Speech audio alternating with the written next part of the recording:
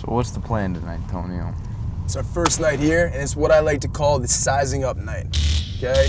We see what's cooking in town, and then we make our first contact with the local girls. So you're saying you're not gonna score tonight? Dude, who said that? All right, sizing up takes a matter of minutes.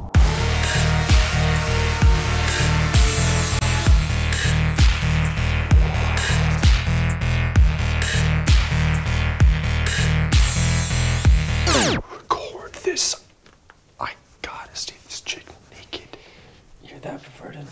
Yeah, obviously.